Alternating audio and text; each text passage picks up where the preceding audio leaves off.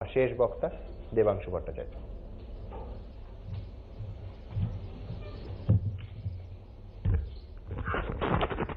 নমস্কার, শুভ সন্ধ্যা। মঞ্চের ওপর এবং নিচে উপবিষ্ট আমার সকল বয়োজ্যেষ্ঠ এবং গুরুজনকে আমার প্রণাম জানাই এবং টিভির ওপারে যারা দেখছেন, তাদের প্রত্যেককে অনেক অনেক শুভেচ্ছা। দিব্যি ছিলেন খোশ মেজাজে, সিনে পর্দায় ভেসে, তারার আলোয় মিশলো কালো ঘাস ফুলেতে এসে। এখন বিষয়টা হচ্ছে এই বিষয়টা নিয়ে আলোচনা করার মতো যেটা তন্ময়দাও বলছিলেন আর কি, খুব একটা মানসিক মানে ভালো লাগা এই বিষয়টার উপর আলোচনা করতে নেই। কারণ যাকে নিয়েই আলোচনা, তার হয়তো যে সন্তান তার মুখাগ্নি করেছে, তার হয়তো গুরুদশার পোশাকটাও এখনও নাবেনি কিন্তু আমরা তার ব্যক্তি জীবন নিয়ে এখানে পোস্টমর্টম করছি এই মঞ্চের উপর দাঁড়িয়ে। ভালো লাগছে না। কিন্তু যাই হোক, বিষয় যখন এসেছে, যখন পক্ষে কিছু বক্তা বক্তব্য রেখেছেন, তার কাউন্টার করতেই হবে এবং তার বিরুদ্ধেও কিছু বলতেই হবে। এখন বিষয়টা হচ্ছে তাপসবাবু, যে বক্তব্য রাখার জন্য মোটামুটি ওই উল্টো দিকের বক্তাদের বা স্বা- স্বাভাবিকভাবে আমাদের কাছে যেটা মনে হয় যে কুখ্যাত হয়েছিলেন, সেই বক্তব্যে তিনি সত্যিই খুব খারাপ মন্তব্য করেছিলেন। আমাদের দলনেত্রী, আমাদের দল তাপস পালকে ক্ষমা চাইতে বলেছিলেন, তাপস পাল ক্ষমা চেয়েছিল, তাপস পালকে ভৎসনা করা হয়েছিল সরাসরি। তাপস পাল তারপরে যতগুলো ইন্টারভিউ দিয়েছেন, যতগুলো চ্যানেলের সামনে বক্তব্য রেখেছেন, যতবার সামনাসামনি এসেছেন, তিনি হাত জোর করে বারবার ক্ষমা চেয়ে গেছেন যে একটা বক্তব্যের জন্য আমি ক্ষমা চাইছি ক্ষমা চাইছি ক্ষমা চাইছি। আমি হাজার একটা ভিডিও দেখেছি, তার এই মারা যাওয়ার পরে ইউটিউব ঘেটে ঘেটে, যেখানে প্রত্যেকটা ইন্টারভিউতে তিনি একটাই কথা বলেছেন, আমি শুরুতেই ক্ষমা চাইছি। কিন্তু জয়প্রকাশ বাবু বসে আছেন প্রথমে, তার দলের নেতা রাজ্য সভাপতি দিলীপ ঘোষ। পাটুলিতে মিছিল হচ্ছিল সিএ এর সমর্থনে। একটি একজন আমাদেরই বয়সী, এক বোন বিরোধিতা করছিল সিএর। তার কাগজটা টেনে ছিঁড়ে ফেলা হয়, তাকে আক্রমণ করা হয়। দিলীপ বাবুকে প্রশ্ন করা হয় যে, তাকে আক্রমণ করা হলে আপনি কি বলবেন? দিলীপ বাবুর পাল্টা উত্তর ছিল, ওর সাথে যে আমাদের ছেলেমেয়েরা আরও বেশি কিছু করেনি, সেটা তার ভাগ্য ভালো। আরও বেশি কিছু করার অর্থটা কি বলুন তো? আপনি, আমি সবাই আশা করি বুঝতে পারছি। কিন্তু না! তিনি কালো হয়ে যাননি, তার তারার আলো এখনও ঝকঝক করছে। কারণ তিনি বাংলার চল্লিশ শতাংশ ভোটের মালিক এবং মেদিনীপুরের সাংসদ দিলীপ ঘোষ এবং তিনি নরেন্দ্র মোদী, অমিত শাহের ভীষণ ভীষণ স্নেহধন্য এবং জয়প্রকাশ বাবুদের নেতা। কিন্তু তাপস পাল কিন্তু আজও এই মানে আজকের মোশানের মোশন প্রস্তাবটা অনুযায়ী তার তারার আলোয় নাকি কালো মিশে গিয়েছে। এখন বিষয়টা কি নিয়ে? যদি আমি তার কুকথা থেকে ফিরে আসি, এই রোজ ভ্যালি ডিভিশনে তিনি ফিল্মের একটা এতে ছিলেন, পদে ছিলেন ডিরেক্টর বা কিছু একটা ব্র্যান্ড অ্যাম্বাসাডার ছিলেন। তো এখন একটা সংস্থা, যে সংস্থাটা রোজ ভ্যালি যেটা চিট ফান্ড চিট ফান্ড কার নির্দেশে বা কার অনুমোদনে চলতে পারে সেবি বলে একটা সংস্থা আছে। যার কাজ হচ্ছে নন ব্যাংকিং ফিনান্সিয়াল অর্গানাইজেশনগুলোকে রেগুলেট করা। কেন্দ্রে ইডি রয়েছে, কেন্দ্রে সিবিআই রয়েছে, যে সংস্থাগুলোর নাম এখন আমি ভুড়ি ভুড়ি শুনি, কারণ আপনি একটা কথা বলবেন, আপনার বাড়িতে তিনটেরই চিঠি পৌঁছে পৌঁছে যাবে। সুতরাং সব কোম্পানির নাম আপনার বা এই সংস্থাগুলোর নাম জানতে আপনার খুব বেশি সময় লাগবে না। খালি এবার বিরোধিতা করুন, বাড়িতে চিঠি চলে আসবে, জেনে যাবেন। তো এতগুলো সংস্থা উনিশশো সাতাত্তর সালে বামফ্রন্ট যখন ক্ষমতায় আসে, আমাদের তন্ময় বাবুদের দল, তারপরে তার ফুটফুটে কিছু কিছু সন্তান হয় বামফ্রন্টের। সেই ফুটফুটে সন্তানের সন্তানের মধ্যে যেমন সঞ্চয়িতা ছিল, সঞ্চয়িনী ছিল, ফেরোনা ছিল, ওভারল্যান্ড ছিল, তার মধ্যেই ছিল সারদা। তো সেই বাচ্চা আস্তে আস্তে যুবক হয়, গোটা বাংলা জুড়ে লুটপাট শুরু করে, কিন্তু সুন্দর সংগঠন থাকা, দুশো পঁয়ত্রিশ আসন পাওয়া তন্ময় বাবুদের নাকের তলা দিয়ে, গলে কোথা দিয়ে তারা টাকা লুটে আবার কোথা দিয়ে পাচার করে দিচ্ছিলেন তারা খোঁজ খবর পর্যন্ত পাননি। বরং কিছু কিছু জায়গায় তো গ্রাউন্ড লেভেলের লিডাররা সারদা ফারদার এজেন্টও ছিলেন। তো সেই জিনিসটা হয়, এই যে সময়কাল দু হাজার তেরো সালে সারদা ওঠা পর্যন্ত, কেন্দ্রে কাদের কাদের সরকার ছিল বলুন তো? কংগ্রেসের সরকার ছিল, বিজেপিরও সরকার ছিল। জোট সরকারও ছিল। এখন কংগ্রেসের এখানে প্রতিনিধি নেই, কিন্তু জয়প্রকাশ দাকে আমি কমন নিতে পারি, কারণ জয়প্রকাশ দা গান্ধীর দলও করেছেন, এখন গডসের দলও করছেন। তাই কমন নিতে পারি তাকে।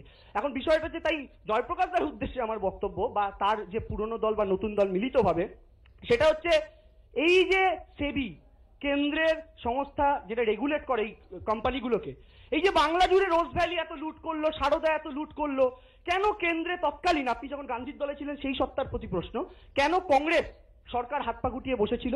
আর এখন আপনার গডসের দলের প্রতি যদি আপনাকে প্রশ্নটা করি, যে কেন আপনার তৎকালীন সময়কার সরকার হাত পা গুটিয়ে বসেছিল? কেন রেগুলেট করেনি রাজ্যের হাতে তো নেই এগুলো বন্ধ করা, কেন্দ্র বন্ধ করতে পারে, কিন্তু সেবি বন্ধ করেনি।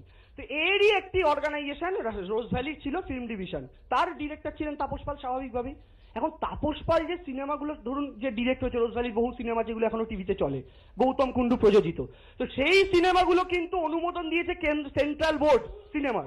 তো সে সেন্ট্রাল বোর্ড অনুমোদন দিচ্ছে, সংস্থা চলছে সেবির অনুমোদনে। একটা লোক কি করে জানবেন বলুন তো যে এই সংস্থার ফিল্ম ডিভিশনের ডিরেক্টর হওয়া তার জন্য ভীষণ অপরাধের। কিন্তু তিনি হলেন। কিন্তু বাবুল সুপ্রিয় অপরাধী নন। কেন?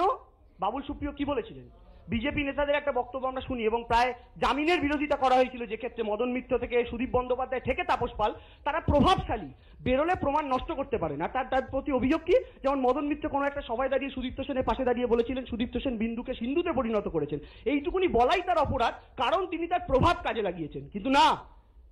তন্ময় বাবুদের ত্রিপুরার মুখ্যমন্ত্রী মানিক সরকার যখন গৌতম কুণ্ডুর পাশে দাঁড়িয়ে গৌতম কুণ্ডুর প্রশংসা করে বলেছিল, গৌতম রোজভ্যালি অনেক কাজ দিচ্ছে ছেলে মেয়েদের। তখন তিনি তার প্রভাব কাজে লাগাননি। তিনি বাবুল সুপ্রিয়। রোজ ভ্যালির প্রোগ্রামে দাঁড়িয়ে তিনি বলেছিলেন রোজ ভ্যালির এই গোলাপের বাগানে আমিও একটা সুন্দর গোলাপ।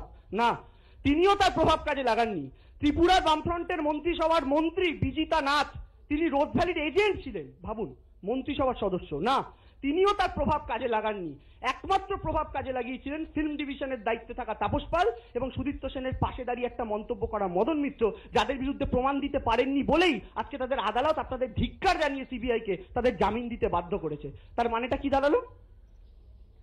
আপনি করলে লীলা, আর অন্য কেউ করলে বিলা। অদ্ভুত ব্যাপার, অসাধারণ ব্যাপার। আপনি করলে চমৎকার, অন্য কেউ করলে বলাৎকার। অসাধারণ ব্যাপার। এই হচ্ছে বর্তমানে আমাদের দেশের অবস্থা। এখন বিষয়টা হচ্ছে সারদা তদন্ত যখন শুরু হয়, তখন আজকে যারা মাধ্যমিক দিচ্ছে, এখন মাধ্যমিক পরীক্ষা চলছে, তারা তখন ক্লাস থ্রিতে পড়তো। তখন সারদার তদন্ত শুরু হয়েছিল। আপনারা কেউ জানেন সারদার টাকা কোথায় বা কি হয়েছে না হয়েছে? কেউ কিন্তু জানেন না। কিন্তু মমতা বন্দ্যোপাধ্যায় কি করলেন? কেন্দ্রের সিবি সেবি কাজ করল না, আটকালো না। মমতা বন্দ্যোপাধ্যায় দু হাজার তেরোতে ক্ষমতা এলেন। ওই যে বামফ্রন্ট ফুটফুটে সন্তানগুলো জন্ম দিয়েছিল, তার মধ্যে একটা বদমাস সন্তানের নাম হচ্ছে সারদা। এগারো সালে মমতা ব্যানার্জি আসার পর তেরো সালে সারদা উঠে যায়। সুদীপ্ত সেন পালিয়ে যান। কাশ্মীর থেকে তাকে ধরে আনেন মমতা বন্দ্যোপাধ্যায়। ভাবুন, কারা খেয়ে দিয়ে মাখালো আর কাকে পরিষ্কার করতে হলো? মমতা বন্দ্যোপাধ্যায় সুদীপ্ত সেনকে ধরে আনেন। মমতা বন্দ্যোপাধ্যায় ফান্ড গঠন করে পাঁচশো কোটি টাকার ফান্ড তৈরি করে ফেরত দেওয়ার প্রক্রিয়া চালু করেন। অনেকে ফেরতও পেয়েছিলেন। কিন্তু হঠাৎ তখন আব্দুল মান্নান, বিকাশ ভট্টাচার্য থেকে শুরু করে বাকি যারা যারা রয়েছেন উন্নয়নের স্পিড ব্রেকার বর্তমানে বাংলায় এবং বিজেপির আইনি সহায় মদতদাতাও বটে, তারা আটকে দিলেন সেটা। সিবিআই হাতে তদন্ত গেল। আজকে ছ বছর অতিক্রান্ত। ক্লাস থ্রি এর ছেলেমেয়েগুলো, যারা সারদার শটাও বুঝতো না, তারা মা সারদাকেই সারদা ভাবতো কেবল?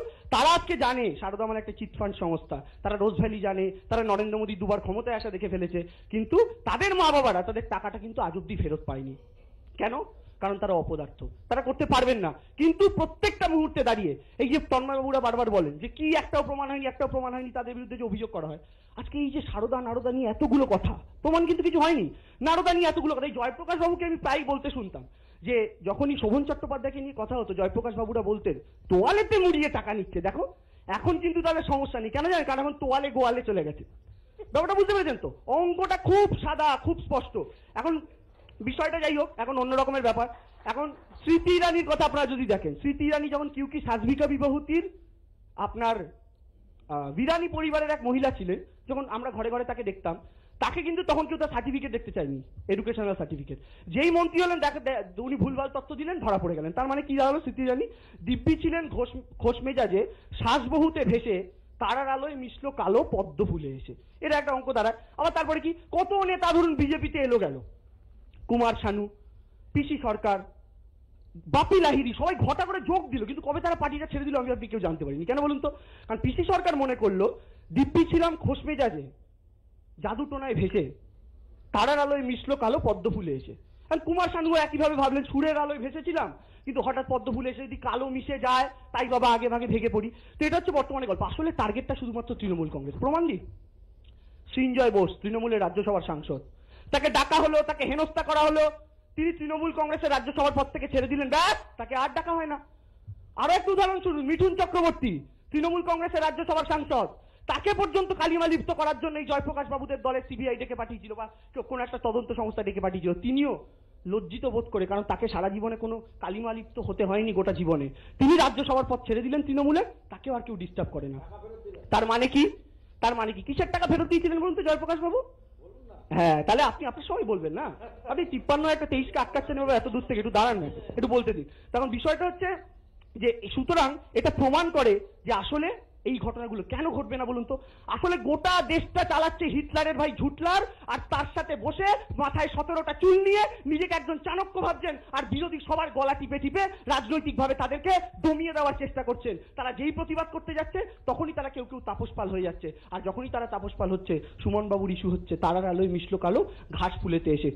অমিতাভ বচ্চনের উদাহরণ তারা দিয়েছেন, তাই আমার নতুন করে দেওয়ার কিছু নেই, শুধু একটাই কথা বলি যে বিভিন্ন ঘটনা আমরা দেখেছি, একটাই অনুরোধ সকলের কাছে যে জয়প্রকাশ বাবুর এটাও দাবি তুলবেন যে এত বছর ধরে কেন্দ্রে তাদের অনেক সরকার তো, বিজেপি, রাজ্য বিজেপি আছে, কেন্দ্র বিজেপি আছে, মঙ্গল বিজেপি আছে, ইউরেনাস বিজেপি, নেপচুন বিজেপি ইত্যাদি ইত্যাদি আছে। তো তারা কেন হাত পা গুটিয়ে বসেছিল যখন সারদা নারদা টাকা লুটছিল? তাই আমি আমার বক্তব্য শেষ করছি। কবিতাটা দিয়ে আমি কবিতা বলব জেনে সুমন মানে তিরিশ সেকেন্ড আগেই বেল বাজিয়ে দেন আমার ক্ষেত্রে। যাই হোক এখানে কবিতাটা শুধুমাত্র তাপস পাল কেন্দ্রিক নয়, বরং তাপস পালকে দিয়ে শেষ হয়েছে। খোস মেজাজ শব্দটা, এই মোশনটার মধ্যে। খোস মেজাজে বাংলা আছে, বিশ্বাস করুন। কিন্তু দেশ খোস মেজাজে নেই। কিন্তু তাপস পাল স্বপ্ন দেখতেন যে মমতা বন্দ্যোপাধ্যায়ের নেতৃত্বেই বাংলা খোস মেজাজে থাকবে। তাই সেই নিয়ে কবিতাটা অনেকটা একটু পাঁচমিশালি বা চারটে স্তবকের কবিতা। বাংলা আছে খোঁজ মেজাজি দিব্যি বেঁচে পড়তে। সরকারি সব প্রকল্প আজ পাচ্ছে যে নিঃশর্তে। তার জন্য লোকাল জোনাল তেল লাগে না দিতে। খোস মেজাজেই থাকবে আমার বাংলা আগামীতে। বাংলা আছে খোস মেজাজেই আর নেই হরতাল, খুললে মাটি কঙ্কাল আর পায় না যাওয়া খুঁজে। মাকে যারা খাওয়াতো রক্ত, তারাই তো আজ মোদির ভক্ত। বিলিয়ে ভোটার বামের নিচে ফুটকি দিল গুজে। বডি বিলানো বামেদের তাই চায় না, যায় না পাওয়া খুঁজে। খোশ মেজাজেই ছিলেন সবাই, এই দেশেতেও আগে। মেজাজখানা বিগড়ে গেছে লজ্জায় আর রাগে। ভারত মাতার মাতার অঙ্গ বেচে দুষ্টু ছেলে দেশটি চালায়, চালিয়ে গুলি প্রতিবাদী আনছে ধরে বাগে। মেজাজটা তাই বিগড়ে গেছে লজ্জায় আর রাগে। বিদেশি বাপ আসছে বলে স্বদেশি বাপ বিচার মাগে। দেশকে আমার ভাগ করেছে লম্বা পাঁচিল মোটা দাগে। একশো কোটির ফুর্তি ভীষণ, তিন ঘণ্টার জেসন ভারী, ফুর্তি সেথায় পাঁচিল পারে ক্ষুদার ভারত জাগে। মেজাজটা তাই বিগড়ে গেছে লজ্জায় আর রাগে। এসব নিয়ে আজও যারা মুক্তি খোলেন ভুলে, মোদির পুলিশ ঘপাত করে নেবেন তাদের তুলে। রামগুহ বা প্রণয় রায়, হাজার এমন নাম, তাদের মতোই তাপস পাল স্পর্ধা নিয়ে ছুলে। মোদির পুলিশ তৎক্ষণাৎ তাকেও নিলেন তুলে। তাপস ছিলেন খোশ মেজাজেই, বিশ্বাস করুন। তাপস ছিলেন খোশ মেজাজেই। আজও তাকে খুঁজি। নরেন মোদীর নির্যাতনে মুক্তি পেলেন বুঝি। তাপস ছিলেন খোশ মেজাজেই, আজও তাকে খুঁজি। নরেন মোদীর অত্যাচারে মুক্তি পেলেন বুঝি। তারা আছে তারার মতোই, নেই কোথাতে কালো। তারা আছে তারার মতোই, নেই কোথাতে কালো। সাহেব প্রেমীর কাজে, কাছে। সাহেব প্রেমীর কাছে, আজও তাপস বড় ভালো। সাহেব প্রেমীর কাছে, আজও তাপস বড় ভালো। ভালো থাকবেন, সুন্দর থাকবেন। ধন্যবাদ দেবাংশু। দেবাংশুর শেষ বক্তব্য এবং তার কবিতা আমার আরেকটা, বিশেষ করে পার্থ ভৌমিকের কবিতাও আরেকটা অনুষ্ঠানের আইডিয়া দিল যেখানে প্রস্তাবে বিরোধিতা যারা করবেন বা পক্ষে যারা বলবেন, সবাইকে ছন্দ মিলে বলতে হবে। খারাপ হবে না সে ব্যাপারটা। একটা জায়গায় শুধু আমি একমত নই, সেটা হচ্ছে না, ব্যক্তি জীবনের ময়না তদন্ত এই আলোচনার বিষয় ছিল না এবং আমার প্রত্যেক বক্তাকে ধন্যবাদ যে তারা সেদিকে জানেনি শুধু একজন পাবলিক ফিগার তার পাবলিক লাইফ সেটাই আলোচনায় এসেছে।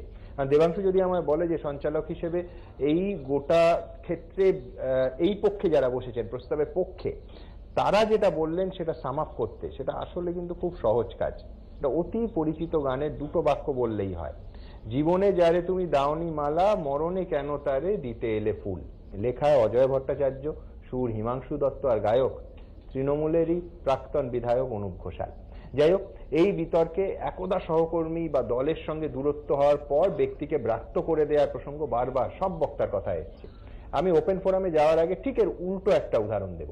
মানে যেখানে চূড়ান্ত আদর্শগত দূরত্ব তৈরি হওয়ার পরও শ্রদ্ধা সম্পূর্ণ অটুট থাকে। যে নেতাজি সুভাষচন্দ্র বসুর সঙ্গে নেহেরু আর গান্ধীর মতবিরোধকে আজকাল স্রেফ রাজনৈতিক স্বার্থে বিরাট করে দেখানো হচ্ছে। সেই নেতাজি নিজে কোন উদাহরণটা রেখেছিলেন? হ্যাঁ কথা সত্যি যে নেতাজি কংগ্রেস ছাড়তে বাধ্য হয়েছিলেন।